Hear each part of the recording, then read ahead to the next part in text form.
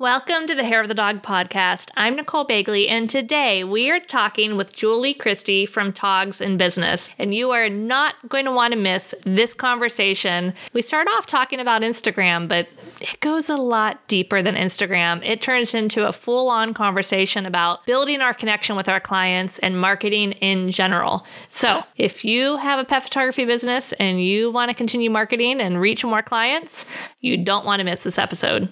Stay tuned. Welcome to the Hair of the Dog podcast. If you're a pet photographer ready to make more money and start living a life by your design, you've come to the right place. And now, your host, pet photographer, travel addict, chocolate martini connoisseur, Nicole Begley. Hey, everybody. Welcome to the Hair of the Dog podcast. Nicole here, and I am here with my special guest, Julie Christie from Togs in Business. Uh, you guys might be familiar with Julie. She was one of our guests for our most recent Hair of the Dog Summit, and uh, everybody loved her, her class, and I've heard such great things about her. So, Julie, welcome to the podcast. I'm so excited to have you here. Thanks, Nicole. I'm so happy to be here as well. Yay! Awesome. Yeah. So we were chatting about what we wanted to chat about. And one of the things that you suggested, which I thought was great, was trying to take control of Instagram. Because yes. I know I've been guilty. And I know uh, a lot of my students and the hair of the dog community has been guilty of like, okay, I know I should be on here. I know I should be doing something with it, but I'm just posting some pictures of mine because I take pretty pictures. And, but yeah, there's a whole lot more strategy to that than just posting a picture, right? so much more, especially now. I mean, I think maybe photographers could have, I think they got away with that even five years ago. They got away mm-hmm. with posting gorgeous work and maybe a, a, caption that related to that photograph, and the work would come in. You will not get away with that now. Unless, and you know, maybe if you are really well established and you've you've built up that following over the years, then you might still be getting away with that, and that's great. But if you are audience building right now, forget it. You have to yeah. have a content strategy. Yeah. Oh my gosh, that seems so overwhelming. So, where do people even start to figure that out? I think it starts, I suppose, with, I mean, even before you start thinking about clever content and more courageous content, you have to start thinking about your followers. Um, I think there, there's a big problem in the photography industry when it comes to Instagram followings because all of our followers are other photographers.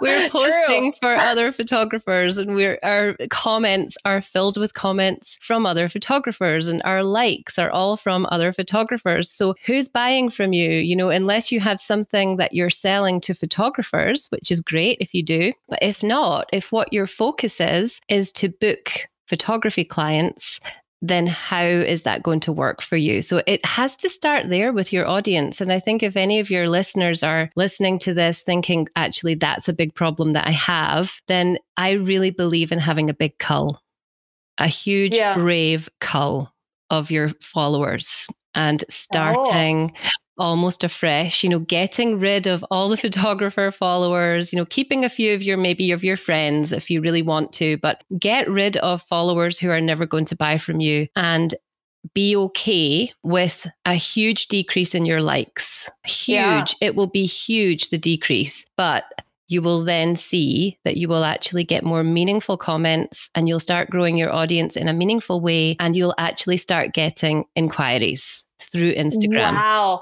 That's a bold that's a bold move. It That's is. scary. It is scary. but if you think about it, a lot of people have been doing that recently on Instagram in different ways. So they've been involved in these follow loops and mm-hmm.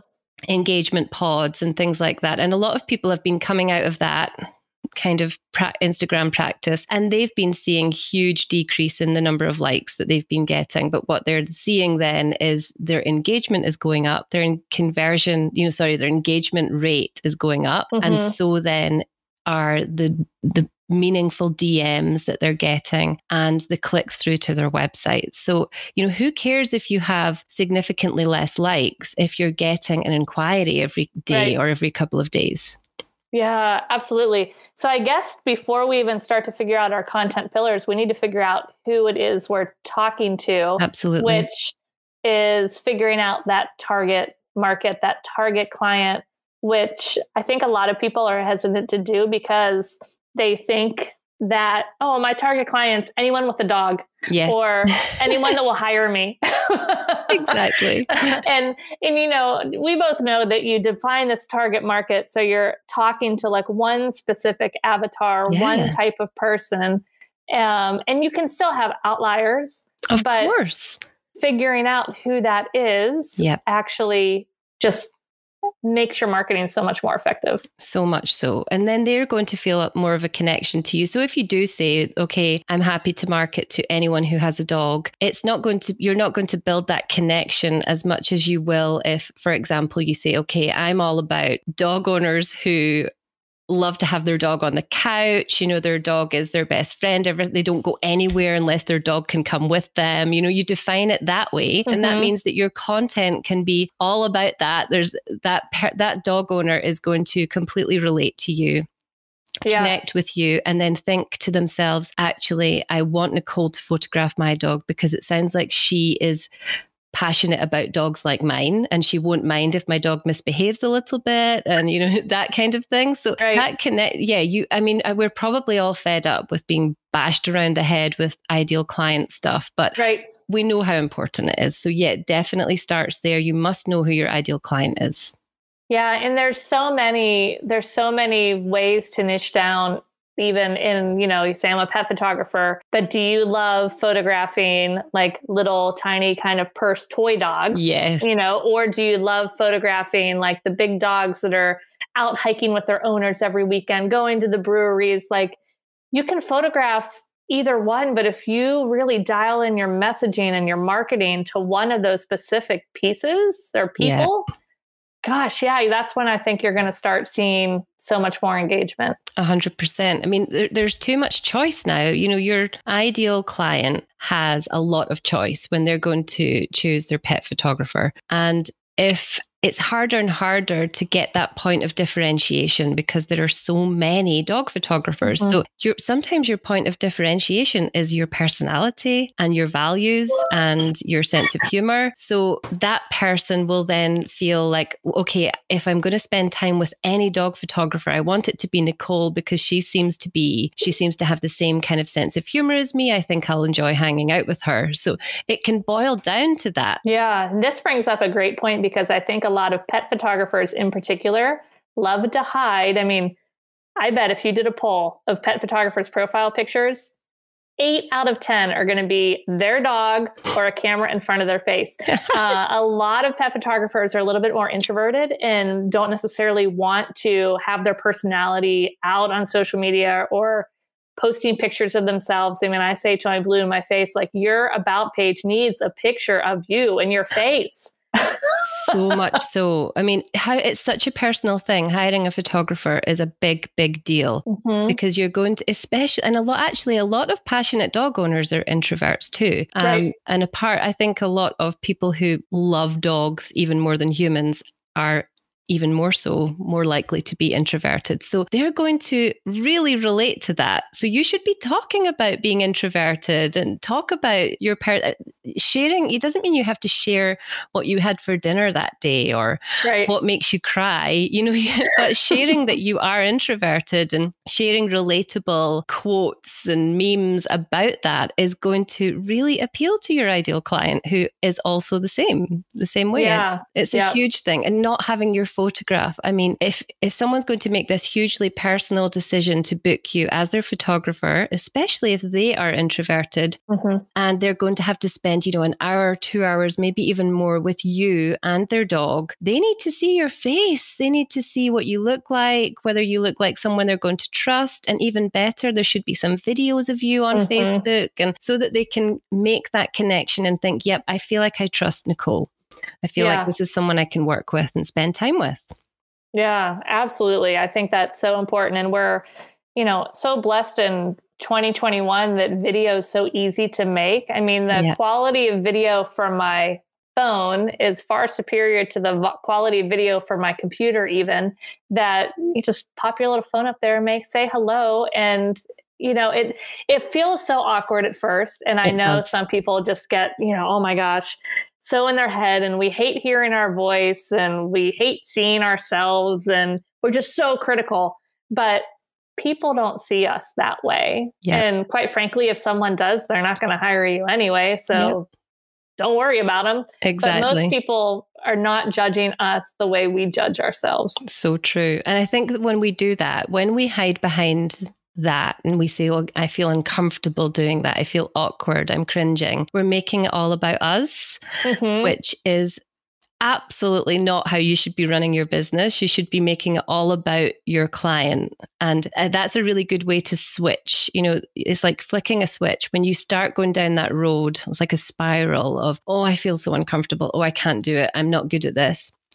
You have to then flick the switch and think, okay, it's not about me. It's about this client who I know wants so much to have their dog photographed and they are wanting to make the right decision. I owe it to them to get mm-hmm. on camera and show them who I am. It's not about Yeah. me. If you just keep saying that to yourself, it's not about me. Yeah, absolutely. And you can take it even further to say, you know, if I'm hiding, I'm actually doing a disservice to people because this person needs to get to know me to make a decision, you know, before their dog gets older and can't be photographed anymore. Like Completely.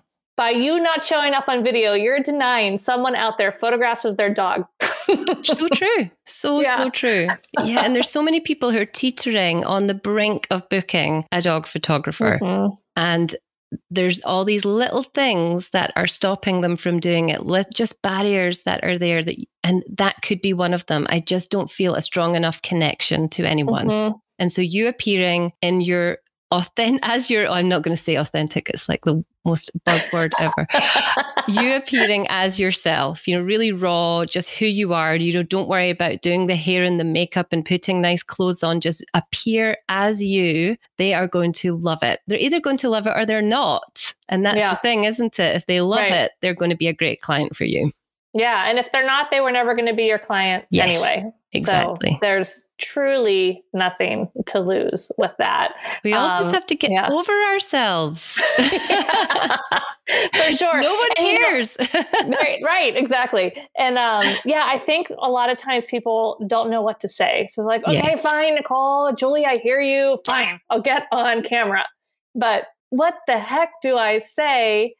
Um, so I know I always like to, you know, think about where my potential client is before booking and what possible objections they have. And in the pet photography world, the biggest one that I hear over and over again is, oh man, I would love photographs of my dog would never behave. You know, Yes. that they think that these dogs have to be complete and total obedient superstars to get their photos done.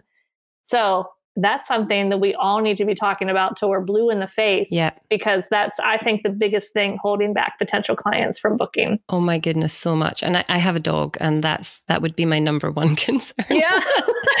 and um, you said there till we're blue, blue in the face, and I think that's really important. Is, is and especially on Instagram, I think that photographers can be guilty of creating a post about this one subject and thinking, well, that's that one done. Right. And no, it's not. You know, a, a tiny percentage of your followers saw it, an Uh-huh. even tinier percentage of your followers read it, and it can be repurposed in probably a hundred different ways. And you can tell a hundred different stories that touch on that. So you should be talking about it over and over and over and over again.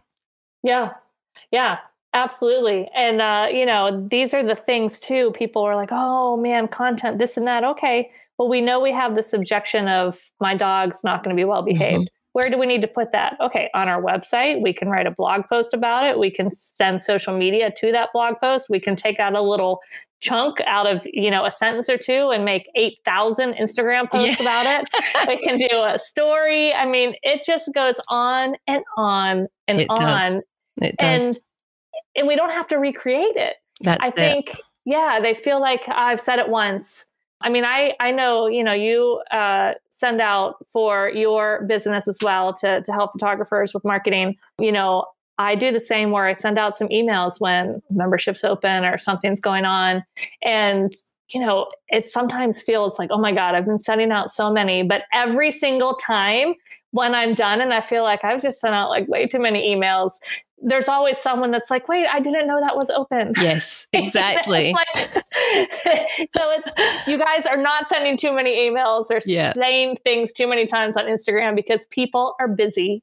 And I think we think that yeah. as soon as we put something out there, everyone can see it and everyone's going to be judging and people are going to be saying, Didn't she say something similar last week? No, they are not. right, right.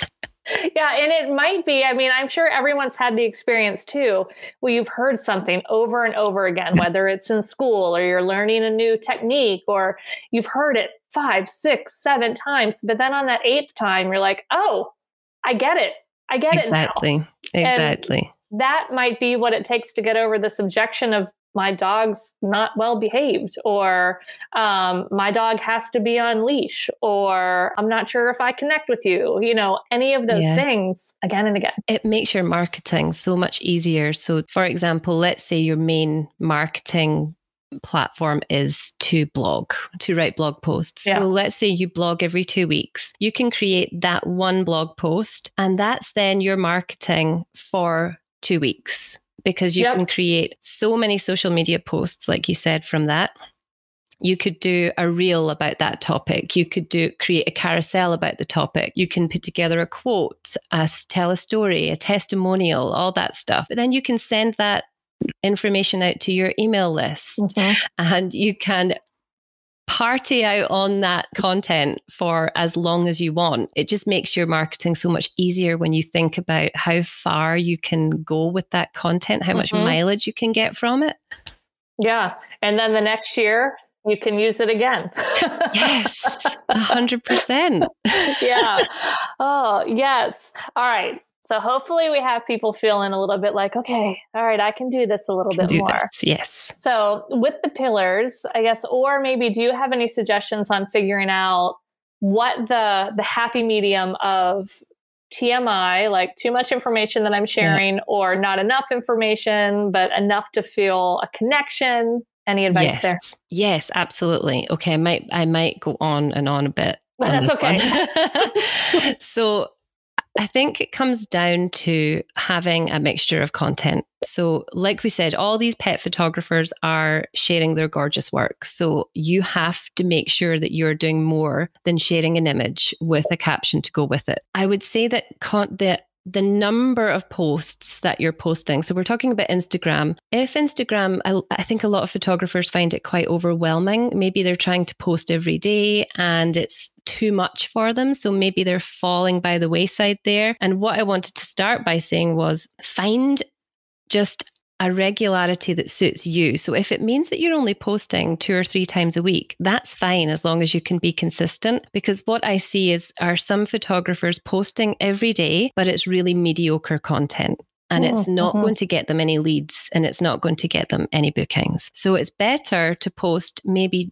just a few times a week and put more effort into those posts and make them real high quality posts. So don't think you have to post every day. But also, when you are posting, you want to be thinking about a magnetic, what I would call a magnetic content strategy. So you're not pushing yourself on people, you're actually producing content that brings people to you. They're actually coming further and further into your world, thinking Nicole is someone to be liked, trusted. I actually think I might reach out to Nicole now. So you want that content to be magnetic. And that's why just sharing your images and a caption to go along with them is not going to do it. You're not going to get people saving your posts which is really huge now and we'll we'll talk about that hopefully a little bit is that savability. Savable posts on Instagram is definitely the new thing. You have to make sure you're creating posts that people will save because Instagram will love you for it. So I think you, it's important that you have this mixture of content. So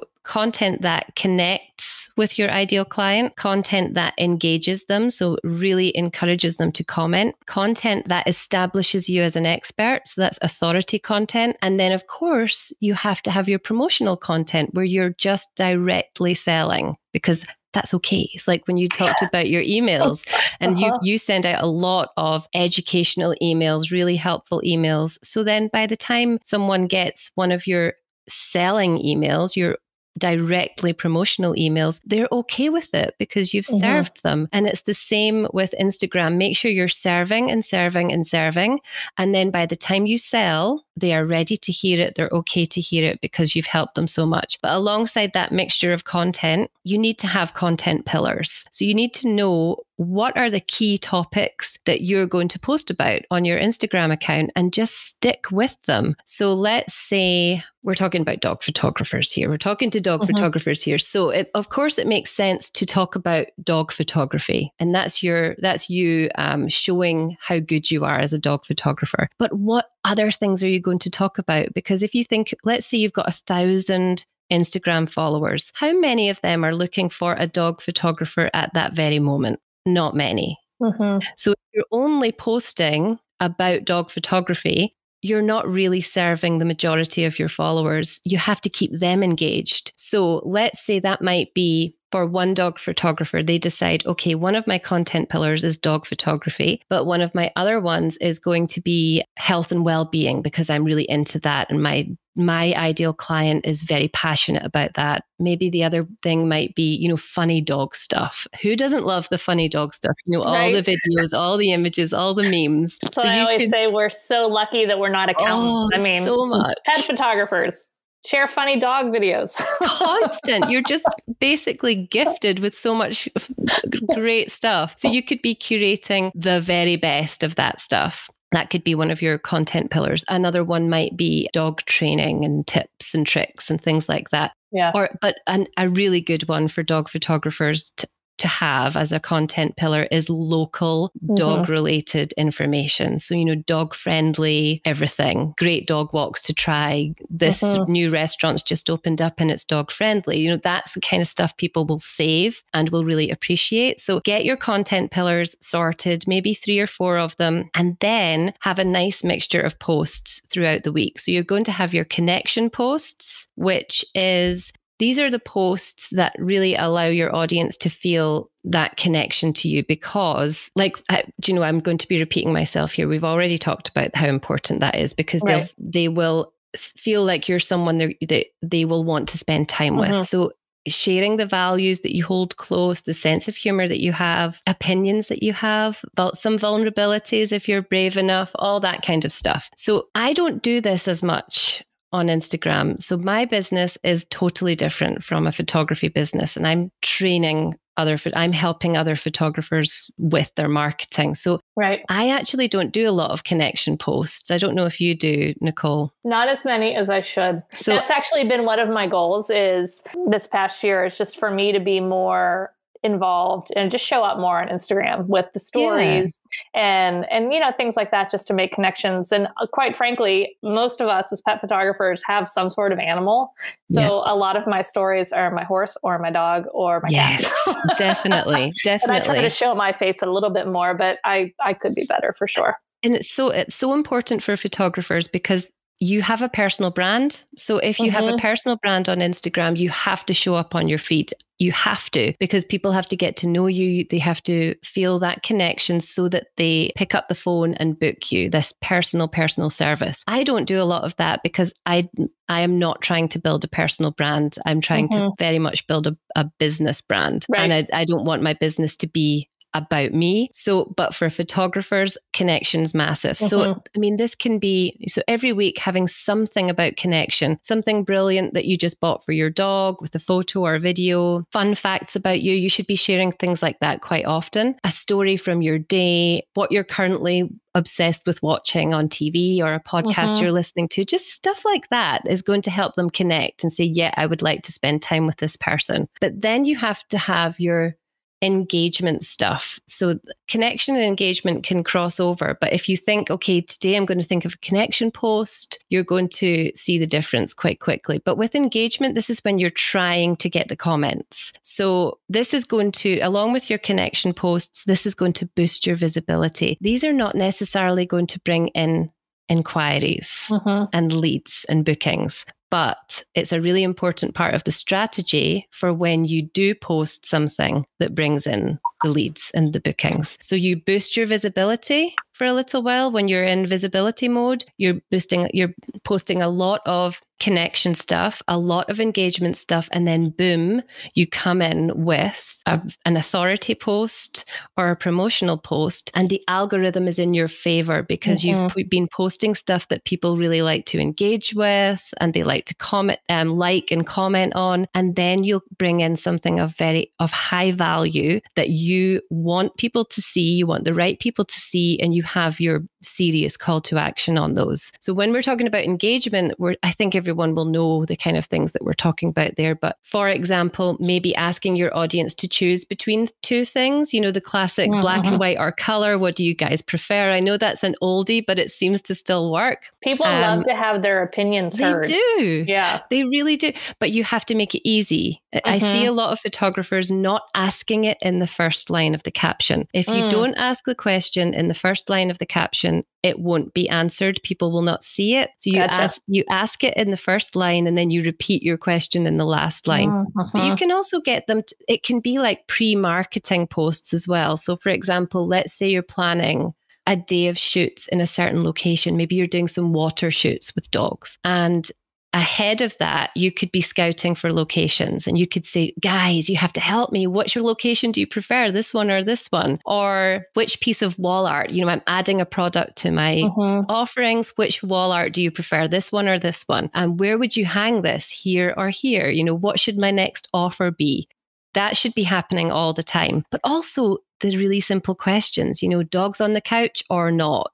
You know, mm-hmm. do you mm-hmm. take your dog everywhere or do you not? Do you feed your dog raw? You know, just yeah. really simple questions to get people offering opinions and make it easy. Don't make them think. Mm-hmm. Just ask them the simplest questions so that they can get involved without having to go, mm, don't don't know what I really right. think about this. Just let them mm. procrastinate on your post and get involved with it. So yeah, you can have so on, on you go. No, no, I was just going to say one really easy thing to ask is uh, what your dog's like uh, nickname is. I mean, people yeah. love to share like, here's Zoe, it's good Zoe's a fish, good, you know, all these different, all these different names that she has. And then yeah, what's your dog's name? Or what's one. your dog's nickname? Uh, that's so funny because I think our dog has about 10 of those. So, yeah, yeah exactly. that, I can imagine. yeah. Or it could be another question of do you make up songs about your dog? I mean. I have like every single song we actually make up about the cat. Actually, our cat that died years ago, we still make up new songs about her. that's so, yeah, that's brilliant. I love that. That is, and there's so much personality in that. And you can really mm-hmm. tell a lot from these little songs that people make up or the nicknames that they give their pets, right. you can tell a lot about who that person is and their character yeah. from that. So I think those kind of questions are perfect. But yeah. then something else that's great for engagement posts is when you tag other businesses. So mm-hmm. you might and I think when people do this, I often see it done in a really generic, kind of lukewarm way, and it doesn't seem to work for them. So I have had people say to me, Look, I, you know, I try and tag people and say nice things about them or engage on their posts, and I just don't, it's not reciprocated. And then when I see what they wrote, I'm like, Well, th- there wasn't much effort put into that. Right. You, know, you have to make people feel seen, really seen. So I think if you're going to put together an engagement post where you're tagging another pet related business, you have to genuinely do your research or go and visit that business and get to know that person and then write a post that makes them go, Oh my goodness, that is special actually she really took time to write something genuine and it's very true and i feel mm-hmm. like she understands me that will be reciprocated and remembered yeah. you know so be that's why i'm saying take the time Mm-hmm. Don't try and just put together a two minute post. Really take the time. And if that means posting less regularly, I think that's fine. And these are all the, the posts that you want to do when you're boosting your visibility. So if you've got something you want to sell, get lots of those posts out and then boom in with your authority stuff and your promotion stuff. And this is the stuff that's going to get saved. Mm-hmm. And right now on Instagram, there's just nothing like putting together a post that is going to get saved by your followers. And the minute Instagram sees that your post is being saved, it the algorithm just boosts in your favor because you have clearly added value to the platform. Mm-hmm. So it's crucial that you guys go on into your analytics and look at how many of your posts are getting saved. And if none of them are getting saved, it's time for a real rethink. We need better posts. So that's where the authority posts come in it's it's really it's mainly authority posts that get saved so these are the ones that are going to take you a bit longer to do a lot more thought involved but these are the ones that are going to bring you dms links to your uh, clicks throughs to your website. They're going to bring in the leads and the and the inquiries because they're going to uh, put you up here as an expert. People are going to see them appreciate them hopefully save them to come back to later and every time they see one of these posts, they're thinking, wow, she's amazing. That really helped me today. Or that makes a lot of sense to me. She's educated me. She's served me. She's helped me. And you, you become over time someone to be followed and someone to be respected and the go to person if they ever need a photographer. Yeah, so those authority authority posts would they be kind of like teaching on those pillars? So maybe it's yes. a post about, um, hey, have you been wanting to take a picture of your dog in your house? Look, set up here with their face towards the window. Yes, or you know, food or training. Okay. Absolutely. Yeah. So you have to you have to create authority posts for the followers who are thinking about booking a dog mm-hmm. photographer but you have to also create authority posts for those who are not really thinking about mm-hmm. booking a photographer right now, but might be soon. So, yeah, some of them will be exactly like you said photography tips behind the scenes of you shooting or editing mm-hmm. or processing orders. That's you showing yourself as an expert, all of that good stuff. Before and after pictures, you know, so you're showing, look what I do. You know, here's mm-hmm. what here's what comes out of the camera, but you know, maybe it's the dog with the leash on, mm-hmm. and then you've mm-hmm. you magically made it disappear, or a photo that your client took of their dog on the same day, and your photos oh, uh-huh. of the uh-huh. dog. You know, that kind of stuff is authority as well. That's but, a good one. Definitely. And so easy to do. And posing tips, um, location tips, photography tips, behavior tips, all that stuff. But then, like you said, the other content pillars, think about those and what can, how can you become an authority in those as well? So it doesn't matter if you're not one right now, you know, you will become one super quick. So become an expert in what's happening in the local area when it comes to dogs you know yeah. the businesses that are opening up the the best walks every uh, the places that are dog friendly all that stuff so that people are seeing a post like maybe it's a list of the best dog friendly hotels in the area right. that is something that people will save to come back to later especially if they always want to take their dog on holidays mm-hmm. and things with them so I would be suggesting that people are producing at least one savable Instagram post per week, one that yeah. they think would, you have to put yourself in your ideal client's shoes. Would you save it mm-hmm. if you were them? Would, would you be scrolling Instagram and think, that's something I'm going to save for later because you will get the most follows from that. You will get the most DMs and inquiries from a post like that. So, yes, content pillars 100% and think savable content. Usually it's going to come from the, the blog posts that you're mm-hmm. writing or the videos you're creating. I was going to say that list of, you know, the 10 best dog friendly hotels in my area or hikes or breweries or wineries yes. or restaurants or insert activity here. Those put on your blog too, because people are probably going to be Googling that and how many how many lists are there really are going to be on that front page? So Definitely. people that weren't even necessarily looking are now introduced to you in your business. Yeah. So yeah. And think how many different posts you could create just from that piece of content. So you could mm-hmm. have, if it was 10, a list of 10, you could deal with each of them individually in mm-hmm. a post. So that's 10 posts. You could do a quick reel where you just rhyme them off Mm-hmm. with some music behind you or something. You could do a carousel with, you know, the text graphic in the front and then all the recommendations behind. It, the list goes on and on and on, the different posts that you could create. So I would suggest that if you're putting together a blog post like that, that at the very same time, you then jot down all the Instagram ideas that come mm-hmm. from it and they could see you through. I mean, that could be going on for six months, you know, mm-hmm. if you mm-hmm. spread them out. So yep. that's the kind of stuff that will really help to, you're not going to get massive amounts of likes on mm-hmm. posts like this. And this is the thing that I think photographers find hard is they change up their Instagram strategy and they'll say to me, but Julie, my likes have just hit the floor. You know, I put a post like that out and I get like 10 likes, but it's not about the likes. It's about mm-hmm. one person seeing it and thinking, I'm going to get in touch with this person or this this photographer's now on my radar. So you have to mix it up. You have to make sure that you're just you're not just showing these photos, you're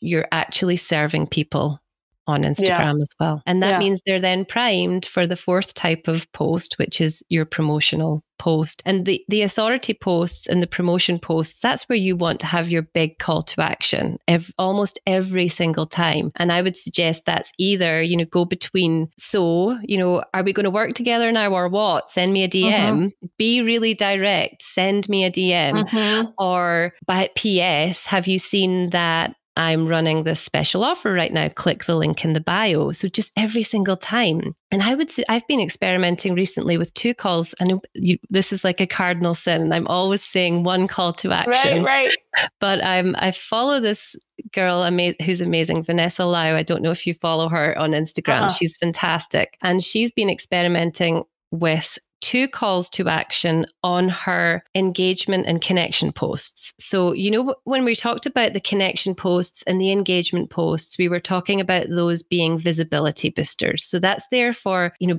boosting your vis- visibility to get you up in the algorithm so that you can then say um, share your authority posts and your mm-hmm. promotion posts. And usually with your connection posts and your engagement posts your call to action will be what do you think? Let me know in the comments or save this for later or tag someone you'll know or double tap and that kind of thing. Yeah so what but what you can do with those, you can experiment with this is have two. So do your primary call to action, which is do you have a suggestion or what do you think? Let me know in the comments. And then experiment with a PS. Yeah. So it comes after PS. Do you know that? I have such and such going on. Or PS, I only have two slots left in June. Uh-huh. So when it comes to engagement and connection, I would encourage you to experiment with two two calls to action. But when it wow. comes to your promotion yeah. posts and your authority posts, I would almost always have one Let's call to one. action and make it your big one. Yeah. Yeah. Yeah. Oh, all sorts of crazy stuff coming out. Call your whole Instagram and two calls to action. This is crazy. yeah. It, you know, it's so the whole promotion th- thing, though, I think it's worth talking about the promotion posts because yes.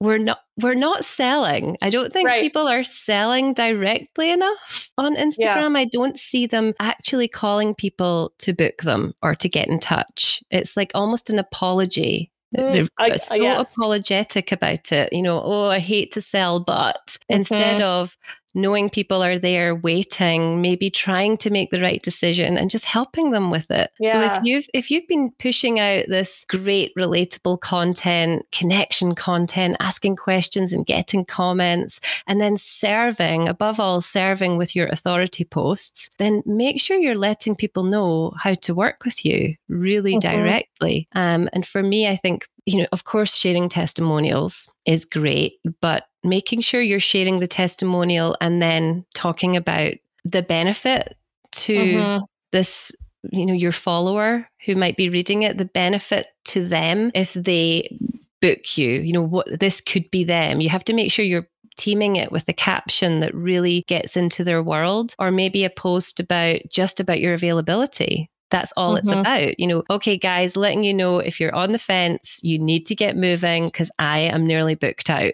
Let them know right. that. Mm-hmm. And, and maybe just the benefit post as well about why, what is it they're going to get because they work with you. Yeah, that benefit's a great thing to to mention too because I think sometimes people get stuck on the features of hey, my pet photography session includes one hour of shooting time and 30 final images for you to choose from and an in person ordering a session. But people don't necessarily care about the features. What are the benefits? Yes. So to speak to that emotional connection, to share a testimonial of somebody that has had a great experience and they now have these things to remind them of their relationship with their dog for the rest of their life. Yeah. And then speak to that That's absolutely where where we make that real connection and we actually move people to take action because I think one of the hardest things to do from pet photography marketing perspective is there's no event tied to a session where a wedding photographer, oh, I'm getting married on October 14th, so I need a wedding photographer that day. Yes. Or newborn, like there's a birth date, like high school senior, they're graduating high school, even family photography. It's like, Yeah. oh, before they graduate elementary school, you should get a family photo taken. But man, pets, it's either a puppy or unfortunately when the dog's older. But to sad? yeah, you have to try to like find these other ways to get people over the hump when their dog's still young and healthy. Yeah, absolutely. Couldn't agree Yeah. more. Definitely. I love it. And so the- with those, oh, sorry. ahead. I was just going to talk about the call to action because Yeah. that's something that I should have mentioned earlier is another thing I see photographers doing on Instagram is that bio link right? which drives me mad. the bio link is either their homepage, which really drives me mad, hmm or it's a link tree with like 5,000 links. so if you have a link in your bio, it needs that's your moneymaker. That is Yeah. your moneymaker link. And if you send them to your homepage, they're gone. You, you're going Mhm. to lose them. They're going to just go down a big rabbit hole. If you send them to a link tree and there are six or seven different things they can click on, a confused mind says no, and they will be gone. Mhm. You need to think, what's my priority right now? And you put that very specific link in your bio. So for me, that is always about getting leads. I would prefer to get leads through my Instagram bio link because you and I know that email's where it's at, right? Mhm. Yeah. emails where the sales happen. And that's the same for photographers because a very tiny percentage of your followers are going to see your posts. Whereas Mhm. maybe 20, 30% of your email subscribers are going to open your email. It- there's just no contest that you have to get them onto your email list. So I see a lot of photographers sending people via in, from Instagram to either their homepage or this crazy link tree with all these Mhm. links instead of getting people onto their email list where they can then nurture them with Mhm. amazing emails and get them to book.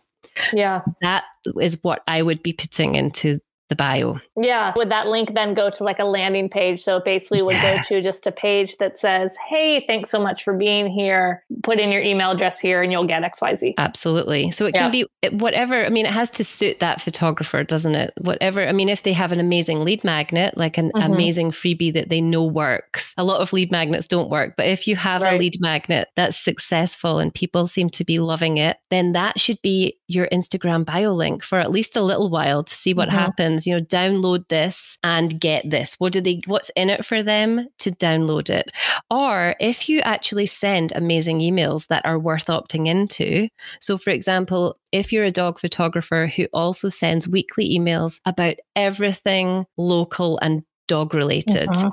I'm going to opt into that. I'm a dog Mhm. owner. I'm an obsessed dog owner. And if I know someone is providing weekly information about everything that's going on in my local area to do that I could do with my dog or enjoy with my dog, I am opting into that email list. I'm going to Mhm. love it. And of course, that's the photographer I'm going to book. So that can be your lead magnet. Yeah. Or some photographers might use their pricing. You know, down up if you want uh, thinking about working with me, click here to download my pricing and packages. And I would only recommend that one if you have a really good email nurture sequence attached to it Mhm. because you don't want to give people your pricing and then just set like, them adrift. Yeah, Yeah. exactly. So you have to make sure you then me? nurture them. Yeah, absolutely. Yeah. Oh, this is so good. So during that promotional time, two questions. During the actual like more heavy duty promotion time, would you change that bio link to go directly to a booking page? So I it I suppose it depends. It really depends on the kind of photographer you are and how you run your business. So Mhm. I like t- to run like a campaign driven business. I like to have one campaign every quarter that I'm focused on. And that's what I recommend to the photographers that I work with is that they're heavily focused on one thing per quarter. So that might be I mean, for a wedding photographer, for example, that might be okay, I'm totally focused on booking next summer next mm-hmm. summer's wedding. For a dog photographer, maybe they have this amazing event that they're going to be doing in the summer where they're they're shooting, you know, in several different locations. Maybe there's some water shoots that they're doing or fields or you, you know the kind of right. thing. Mm-hmm. So having a focus like that works or if you are someone who really just wants to get leads which is another thing mm-hmm. I, am all about then i, I would have a different lead magnet every quarter so for mm. example a five day challenge for one quarter and then the next quarter might be an amazing freebie that pdf freebie that you've put together the next quarter might be might be your pricing and packaging so you're experimenting with different ways of different lead generation mm-hmm. ideas and then every now of course you're going to have little like mini campaigns here and there. Maybe you do um, like, like a, a Mother's Day, a mother, yeah. yeah. a Mother's Day mm-hmm. event or something. You know, moms and their dogs, or but I'm talking about a more meaty big mm-hmm. campaigns. So yeah, I would my my link in my bio is attached to whatever campaign I'm running that quarter. And then every now and again I might change it. If I'm running a giveaway, I'll change it for mm-hmm. a week or so. And and I would recommend exactly the same for photographers. So what is your focus right now? Is it getting people onto your email list? That's the link that should be in your bio. Mm-hmm. And that's when you're sharing your authority posts, have a kind of tenuous link to that at least so that you can then say, want more amazing stuff like this, make sure you grab my X, check mm-hmm. the link in the bio. So it's a more specific call to action. And yes, okay, they're not going to see everything you have to offer and everything that you do, but actually you will get more inquiries and more leads because it's specific. Mm-hmm. Yes, 100%. Because if they see all the things, I see this a lot of times too. I go to a photographer's website and it's like, here's my six different sessions I offer. Yeah. Like, whoa, whoa, whoa. No one, they're going to have no idea what's the right one for them. So they're just going to go away. exactly. Exactly. So, yeah. Keeping it streamlined and and you and I are on the same page. I always tell my students like we need to focus on two things in your business, leads and sales. Like yeah. that that is what the business is built on. And if you don't want to focus on those, then well, maybe we just have a hobby. But you need leads to get yeah. to the sales.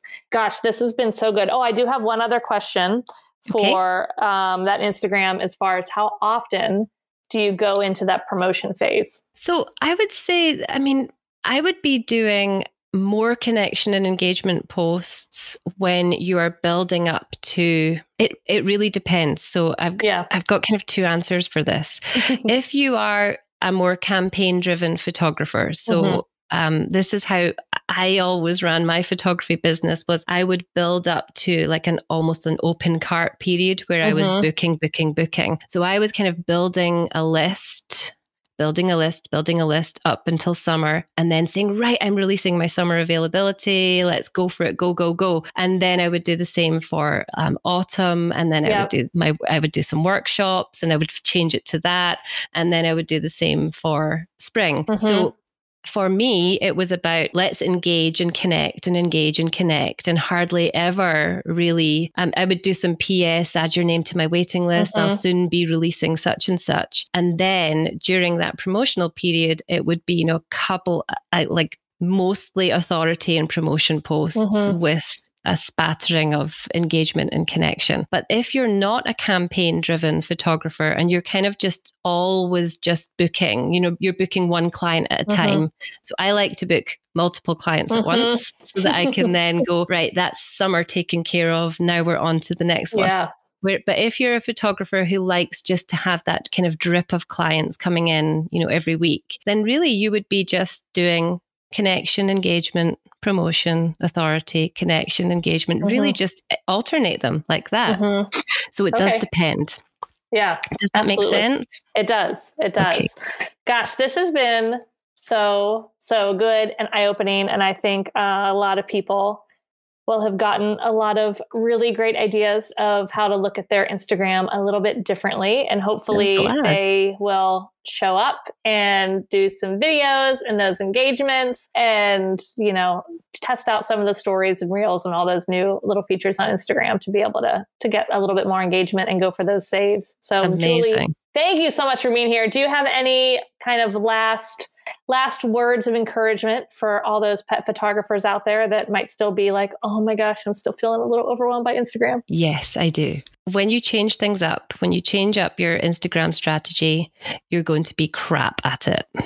And I, it's just that's what's going to happen. We're always really rubbish at something when we first start or where we change. So just accept that you are going to be a bit crap at it and just do it anyway. You know, that's it's no one cares. Hardly anyone's seeing it. So just go for it. I really would just say go for it. Um, don't think about how you appear to others and how many likes you're getting. Just think about that one person that, like we talked about, that ideal mm-hmm. client. Am I serving that person?